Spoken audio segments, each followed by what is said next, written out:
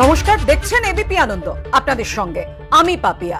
শুরু করছে এখন কলকাতার এখন কলকাতায় যে বিষয় নিয়ে আলোচনা, মদে বিষক্রিয়ার অভিযোগে মৃত্যুর ঘটনায় মৃতদের ভিসেরা পরীক্ষা।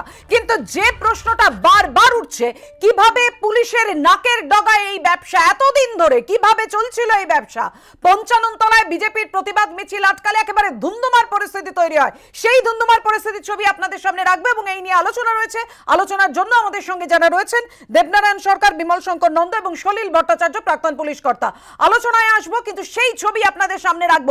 যেভাবে ধুমধুমার বেঁধে যায় পঞ্চানন তলায়, হাওড়ার পঞ্চানন তলায়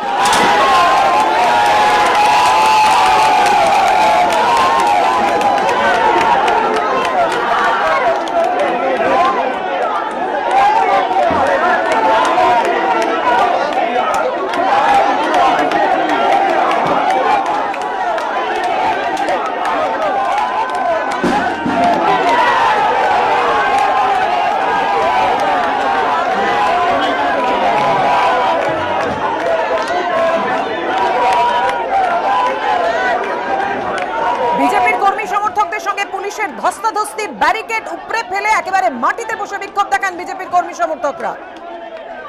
আর সেই জায়গা থেকে রয়েছেন একেবারে ঘটনাস্থল থেকে আমাদের প্রতিনিধি হিন্দলদের সরাসরি চলে যাব এই মুহূর্তে হিন্দলের কাছে।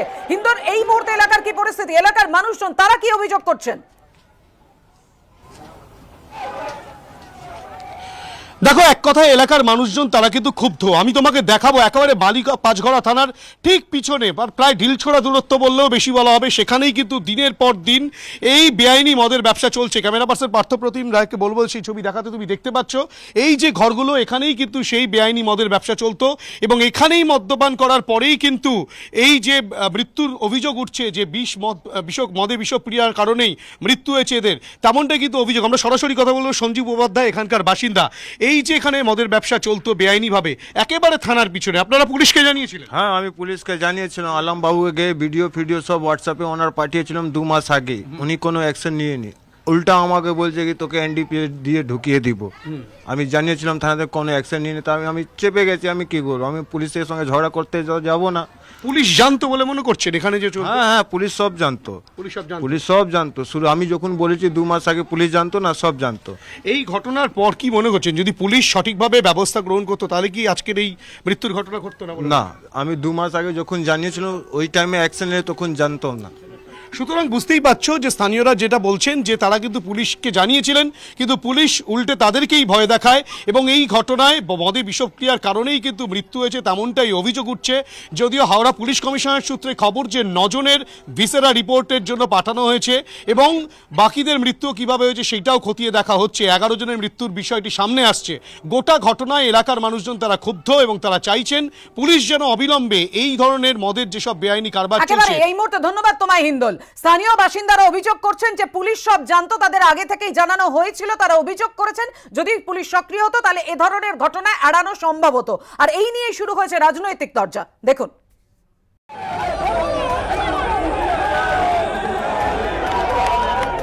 বিজেপির কর্মী সমর্থকদের সঙ্গে পুলিশের তুমুল ধস্তাধস্তি, পুলিশের বিরুদ্ধে স্লোগান, ব্যারিকেড উপড়ে ফেলা। রাস্তায় বসে পড়ে বিক্ষোভ। হাওড়ার ঘুষুরিতে মদে বিষক্রিয়া এগারো জনের মৃত্যুর অভিযোগের ঘটনা। বিজেপির বিক্ষোভ ঘিরে রণক্ষেত্রের চেহারা নিল পঞ্চাননতলা রোড এলাকা। বুধবার মালিপাঁচঘড়া থানার অদূরে বেআইনি মদের ছেক থেকে মদ খেয়ে অসুস্থ হয়ে পরপর কয়েকজনের মৃত্যু হয়। অভিযোগ ওঠে পুলিশি নিষ্ক্রিয়তা সেই ঘটনায় এদিন মালিপাঁচঘড়া থানার সামনে বিক্ষোভ কর্মসূচি ছিল বিজেপি। সেখানে উপস্থিত থাকার কথা ছিল বিরোধী দলনেতা শুভেন্দু অধিকারী। কিন্তু বিজেপির দাবি, পুলিশ, প্রশাসন সেই কর্মসূচির অনুমতি দেয়নি। পরিবর্তে এদিন পঞ্চাননতলায় বিজেপির জেলা পার্টি অফিস থেকে হাওড়া সিটি পুলিশের কমিশনারের কাছে স্মারকলিপি দেওয়ার কর্মসূচি নেয় গেরুয়া শিবির। বিকেলে পার্টি অফিসের সামনে থেকে শুরু হয় বিজেপির মিছিল। সেখানে আগে থেকেই বিশাল পুলিশ বাহিনী মোতায়েন করা হয়েছিল। তৈরি রাখা হয় লোহার গার্ডওয়াল রোবোকপ কিন্তু বিজেপির মিছিল কিছু দূর এগোতেই তা আটকে দেয় পুলিশ। শুরু হয়ে যায় ধস্তাধস্তি। প্রথমে লোহার গার্ডরেল সরিয়ে এগিয়ে যায় বিজেপির কর্মী সমর্থকরা। উপরে ফেলা হয় গার্ডওয়ালও পুলিশ কর্মীদের সঙ্গে বিজেপি কর্মীদের বচসা থেকে ধস্তাধস্তি। বাদ যায়নি কিছু। আজকে আমরা কমিশনারকে ডেপুটেশন দিতে যাচ্ছিলাম। শান্তিপূর্ণ প্রোগ্রাম। কয়েকশো বিজেপি কর্মী ডেপুটেশন দিতে যাচ্ছে। এই আমার পার্টি অফিস থেকে বেরিয়েছে এখানে ধরে নিয়েছে। আবার মহিলাদের উপরে লাঠি চালাচ্ছে।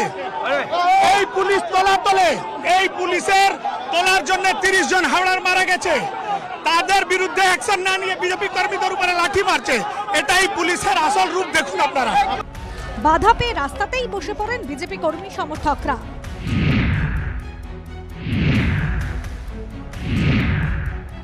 রাজ্য সরকার চাইছে না যে বিজেপি গেলে পরে ওখানে সমস্ত বিষয় বাইরে চলে আসবে। কারণ এটা খুন এটা কোনো অ্যাক্সিডেন্ট নয়। রাজ্য সরকারের পরিকল্পিত খুন। কিছু মানুষের পকেট ভরার জন্য এই মানুষগুলো প্রাণ গেল তা আজকে একটা দলের কর্মসূচি আছে। ঠিকই বলেছে পুলিশ দলের কর্মসূচি একটা দলের কর্মসূচি থাকলে অটোমেটিক্যালি অন্য কোনো দলকে পারমিশন দেওয়া যায় না হ্যাঁ অবশ্যই পারমিশন নেওয়া ছিল একটা মহিলাদের একটা প্রোগ্রাম আছে ওখানে র্যালি আছে। এই ঘটনায় উচ্চ পর্যায়ে তদন্তের দাবি করেছে বিজেপি। হিন্দল দে ও সুমিত হালদারের রিপোর্ট এবিপি আনন্দ হাওড়া। আমি দেবনারায়ণদের কাছে আসব কিন্তু তার আগে সলিলদার কাছে যাব। সলিলদা পুলিশের নাকের ডগায় এভাবে বেআইনি মদের টেক চলছে কি করে? এলাকার মানুষজন বলছে তারা দু মাস আগে অভিযোগ জানিয়েছিল। পুলিশ উল্টে ভয় দেখাতো তাদের ভেতরে ঢুকিয়ে দেবে। দেখো পাপিয়া পুলিশের নাকের ডগায় হচ্ছে এটা তো একটা পুলিশের গাফিলতি বটেই।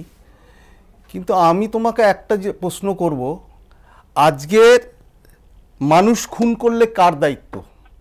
ধর্ষণ হলে কার দায়িত্ব? ডাকাতি হলে কার দায়িত্ব? চুরি হলে কার দায়িত্ব? বউ পালালে কার দায়িত্ব? বধূ অত্যাচার হলে কার দায়িত্ব? পুলিশের দায়িত্ব। সেরকম illicit distillation illegal sale of liquor যদি ধরতে হয়, সেটাও পুলিশের ওয়ান অফ দ্য ডিউটিস কিন্তু যার জন্য এক্সক্লুসিভলি স্পেশালাইজড একটা ডিপার্টমেন্ট রয়েছে, সেটা হচ্ছে আবগারি ডিপার্টমেন্ট আজকে তাদের কথা কেউ বলছে না কেন? ওদের ওসি এক্সাইজ আছে, ওদের অ্যাসিস্ট্যান্ট কমিশনার আছে অ্যাডিশনাল ডেপুটি কমিশনার আছে, একজন সিনিয়র আইএস অফিসার আছে কমিশনার এক্সাইজ তাদের পারফরমেন্সটা কি বলো? তাদের কথা কেউ বলছে না। তারা সব নিভৃতে, নীরবে এক কোণে দাঁড়িয়ে দেখছে।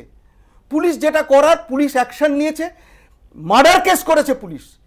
Culpable homicide not amounting to murder sessions triable মৃত্যুদণ্ড লাইফার হয়। লাইফ ইমপ্রিজনমেন্ট এবং দশ বছরের ওপরে সাজা। সুতরাং, এবং তাদের যে যে প্রতাপ বলে যে লোকটা main illicit distillation and illegal sale of লিকারের যে মেইন মাফিয়া আজকে মদ শিল্প হয়ে গেছে তো ওখানে। ওখানে এই মদ শিল্প ভাঙার প্রাথমিক দায়িত্বটা কার? এই স্পেশালাইজ কি তোমার বলে পারফরমেন্সটা কি? এক্সাইজ কমিশনের এক্সাইজ কমিশনের পারফরমেন্স কি? ওসি এক্সাইজের পারফরমেন্স আমি আমি আমি বিমলদার কাছে যাব। বিমলদার দুটো বক্তব্য আপনাকে দেখাবো। তৃণমূল বিধায়ক হাওড়া উত্তরের গৌতম চৌধুরী তিনি বলছেন কোথায় কোথায় গলি গুপচিতে মদ বিক্রি হচ্ছে সেটা কি বিধায়কের কাজ? খোঁজ নেওয়া। পুলিশ কি করে জানবে? আরও একটা বক্তব্য শোনাবো। ছ নম্বর ওয়ার্ডের প্রেসিডেন্ট শ্যাম মালহোত্রা তিনি বলছেন যে ওই বুথে অর্থাৎ ছ নম্বর ওয়ার্ডের একটি বুথে দুশো ভোটে তো বিজেপি জিতেছে। তাহলে বিজেপি অভিযোগ করেনি কেন? বিজেপির কোনো কর্মসূচি নেই কেন? কথা বলি, এই যে কর্মসূচি করার পরে কি করেছে সরকার সেটা নিশ্চয়ই সবাই দেখেছে। দুই, ওখানে কোনো একটি দলের কর্মসূচি আদৌ সাজিয়ে দেওয়া হয়েছে কিনা ব্যাকডেটে পারমিশন দিয়ে বিজেপিকে আটকানোর জন্য সেটাও তদন্ত করে দেখার দরকার। আমি পরিষ্কার একটা কথা বলি, এ রাজ্যে প্রশাসনিক ব্যবস্থাটা যে ভেঙে পড়েছে, পুলিশ প্রশাসনের কোমরটা যে ভেঙে দেওয়া হয়েছে, এই ঘটনা তার প্রমাণ। তার কারণ, থানা থেকে সত্তর পঁচাত্তর মিটার দূরে সেখানে, কিলোমিটার নয়, মিটার।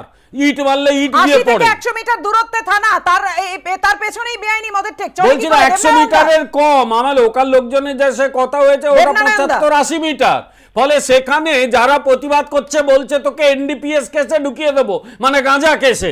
মানে পুলিশের বিরুদ্ধে তদন্ত না করে এগারোটা লোক মরে গেল? স্থানীয় বাসিন্দারা অভিযোগ করছেন? তারা দীর্ঘদিন ধরে অভিযোগ জানিয়ে আসছেন। দেবনারায়ণ দা আমি সলিল বাবুর সঙ্গে পুরোপুরি একমত। পুলিশ এক্সাইজ ডিপার্টমেন্ট কিন্তু তার সঙ্গে আর একটা কথা বলব। এই নাগরিক সমাজ, আজকে তৃণমূল শুধু না, বিজেপিকেও মানে everyone thinks of changing the world no one thinks of changing himself সেখানে নাগরিক সমাজ, আজকে যে হাওড়ার একজন এমএলএ বলছে যে এটা আমার দায় নয়, এটাও ভুল। প্রত্যেক জনপ্রতিনিধি হোক, বা জনপ্রতিনিধি নাও হয় যদি, নাগরিক সমাজেরও দায়িত্ব। সুতরাং সলিল বাবুর সঙ্গে শুধু একমত নই আমাদের আজকে শুনুন, গতকাল পেপারে পড়ছিলাম, বাইশ কোটি লোক এই রকম মদের নেশায় দিব সারা ভারতে সিক্সটিন পার্সেন্ট লোক। এবং আরও আমি আমি বিমলদার কাছ থেকে একটু উত্তর নিয়ে নি তারপর দেবনান্দার কাছে আসব। বিমল দা না কথা বলি সেটা হচ্ছে নাগরিক সমাজ তার ভূমিকা পালন করবে সেটা ঠিকই আছে কিন্তু এসব ক্ষেত্রে প্রাথমিক দায়িত্ব তো পুলিশের। কারণ পুলিশের সোর্স থাকে পুলিশ চারদিকে সমাজের খবর রাখে এটাই পুলিশের কাজ। আর নাগরিক সমাজ এ রাজ্যে গলা টিপে মেরে দেওয়া হয়েছে। সাধারণ মানুষ যদি অভিযোগ করে বলে তোকে গাঁজা কেসে ঢুকিয়ে দেবো। এনডিপিএস। এই জায়গাটাতেই যে পুলিশ তো আগে অভিযোগ নেবে তারপর কোন ডিপার্টমেন্টের দায়িত্ব, পুলিশকে তো আগে অভিযোগ নিতে হবে। আমি এই জায়গায় আসব, সলিদার কাছে অবশ্যই আসব আসব, সলিদার কাছে আসব। আমি দেবনন্দর কাছে আসব। দেবনন্দ আপনি বলছিলেন যে অন্যান্য দলের কোনো কর্মসূচির কথা, তাদের ভূমিকার কথা। তো আজকে তো বিক্ষোভ কর্মসূচির আগে স্মারকলিপি জমা দেওয়ার কর্মসূচি ছিল শুভেন্দু অধিকারী নেতৃত্বে বিজেপির, হাওড়া থানার, সিটি থানার পুলিশ কমিশনারের কাছে। কিন্তু প্রশাসন অনুমতি দেয়নি। না আমি না, পোস্ট শুধু নয় এখন তো রাজনীতির সময়। এখন সারস কিন্তু আমার প্রশ্ন জিনিসটা ঘটার আগে ঘটার আগে যদি আমি সচেতন না করি নাগরিক সমাজ হাইকোর্টেও যেতে পারছে সঙ্গে সঙ্গে কেস করতে পারছে কিন্তু আগে কেন এই সতর্কতা আগে কেন ব্যবস্থা নেওয়া হয়নি? নাগরিক হ্যাঁ, আমি একটা কথা বলি শাসক দলের দালালিরও একটা সীমা থাকা উচিত। দালালি করা উচিত একটু বুদ্ধিশুদ্ধি নিয়ে। আপনি প্রশাসন কি করতে আছে? থানা কি করতে আছে? তারা সব ঘুমিয়ে পড়বে। ঘরের পাশে প্রতাপ বলে একজন বেচবে রাস্তাটার নাম প্রতাপ গলি। মানে উনি এত বড় মহাপুরুষ তিনি চুল্লু বেচেন তার নামে গলিটার নাম হচ্ছে প্রতাপ গলি। প্রশাসন ঘুমিয়ে আছে পুলিশ ঘুমিয়ে আছে। শাসক দলের নেতারা যারা মানুষ কি দিয়ে ভাত খায় সেটাও জানে তারা চুপ করে বসে আছে। এবার ছেড়ে দেওয়া হলো নাগরিক সমাজ তার ভূমিকা পালন করবে। এসব বললে লোকে হাসাহাসি করবে তো?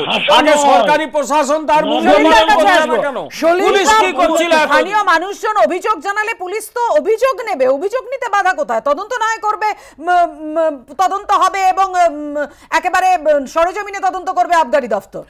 পুলিশের অভিযোগ নিতে বাধা কোথায়? পাপিয়া আমি তোমার সঙ্গে একদম সহমত। একটা গাফিলতি একটা গ্রস ইনঅ্যাকশন তো আছেই on the part of the police এটা এ সম্পর্কে কোনো সন্দেহ নেই। কিন্তু আমার যেটা কথা হচ্ছে যে প্রেজেন্ট সিপি হাওড়া, উনি খুব রিসেন্টলি জয়েন করেছেন এবং ওনার dedication commitment loyalty and honesty তো সর্বজনবিদিত। আমি তোমায় বলে রাখছি, এই লোকটার, এই প্রতাপের কাস্টডি ট্রায়াল হবে। তুমি দেখে নেবে ওকে জেলে রেখে জেলে রেখে ওর বিচার প্রক্রিয়া শুরু হবে। আমি এটা তোমায় বলে দিলাম গ্যারান্টি দিয়ে বলছি। কিন্তু অ্যাট দ্য সেম টাইম আমি এটাও বলব যে থানা থেকে স্টোনস থ্রো ডিস্টেন্সে যদি এরকম মদের কারবার চলে প্রাইমারি ডিউটি কিন্তু পুলিশের এরপরে রয়েছে এক্সাইজ এক্সাইজ কি করল এক্সাইজের কি আউটটার্ন আছে ওদের কি রেকর্ড আছে আর পুলিশের কি রিকভারি আছে সেটা দেখা দরকার কারণ এক্সাইজ কিন্তু নামমাত্র তোমরা কেউ জানো না তদন্ত কোন পথে এগোয় সেদিকে আমাদের নজর থাকবে একদম সংক্ষেপে একদম অনলাইনার হ্যাঁ এই ধরনের একটা বেআইনি কাজ চললে তার প্রচুর বেনিফিশিয়ারি থাকে সেগুলো খুঁজে বার করা দরকার কাদের মদতে এই ধরনের সমালোচনার জন্য প্রোগ্রেসিভ হতে হবে। কনস্ট্রাকটিভ না হয়ে শুধু সমালোচনা করলে হবে না। ভালো দালাল না হওয়াই ভালো। দালাল হলে মুশকিল হয়ে যায় তো। কেউ যদি দালাল হয়ে যায় তখনই মুশকিল হয়। আপনারা তো রাজনীতি রাজনৈতিক চর্চা চলতেই থাকবে।